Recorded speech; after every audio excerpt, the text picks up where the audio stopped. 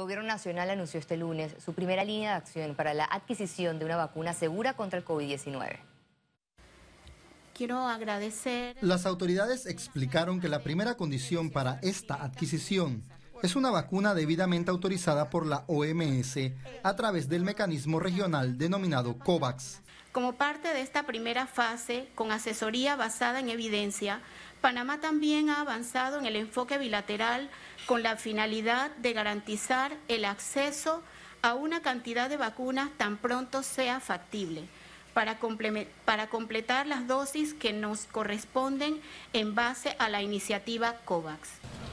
Ya hay acercamiento con 14 casas farmacéuticas y gobiernos que patrocinan estos estudios para asegurar cierta cantidad de dosis tras la aprobación de la OMS.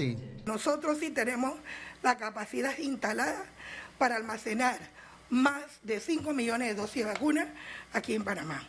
Sí la tenemos, sin embargo, las regiones de salud están limitadas.